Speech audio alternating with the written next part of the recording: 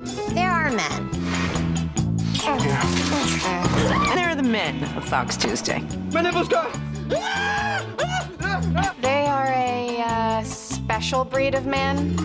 Hey, I need your car and a pinata and six dresses, size 8 through 12. Very special. Have you been wearing my underpants? Sometimes, yeah. Who cares?